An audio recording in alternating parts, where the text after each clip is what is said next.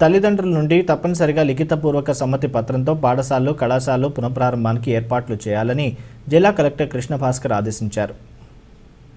జిల్లాలో వచ్చే ఫిబ్రవరి ఒకటో తేదీ నుండి పాఠశాలలు కళాశాలలు పునఃప్రారంభానికి తగిన ఏర్పాట్లు చేయాలని అన్ని తరగతి గదులను తప్పనిసరిగా శుభ్రపరిచి శానిటైజ్ చేయించాలని తరగతిలో నిర్వహించేటప్పుడు తప్పనిసరిగా కోవిడ్ నిబంధనలు పాటించాలని కలెక్టర్ అన్నారు. ప్రతి ఇద్దరు విద్యార్థుల మధ్య ఆరు అడుగుల దూరం ఉండేలా చర్యలు తీసుకోవాలని అవసరమైతే ఒకే తరగతి వారికి రెండు గదులను ఉపయోగించాలని సూచించారు.